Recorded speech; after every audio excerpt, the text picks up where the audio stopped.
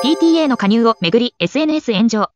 埼玉県内のある公立小学校の PTA が、非加入世帯の保護者宛に送った通達の内容が横暴であるとして SNS 上で拡散されています。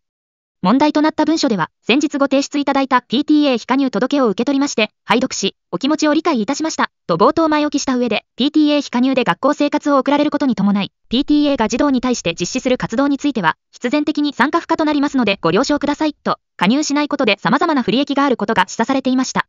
非加入世帯児童の登校通学班からの排除や、会費で購入している式典の祝い物が渡せないことなどが記され、会費分にあたる金額の寄付の申し出についても、大変申し訳ありませんが、そのような形で受け取ることができません、と却下。これに対し SNS 上では、横暴が過ぎる、非加入の児童に対する差別、子供を人質に取った脅迫では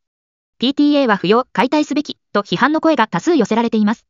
小中学校において、任意加入の保護者と教職員が児童生徒のためにボランティアで支援活動を行う PTA、結成や加入を義務付ける法的根拠はないものの、実質的には参加が強制となっている地域もあり、近年では保護者から負担が大きいなどの声が上がっています。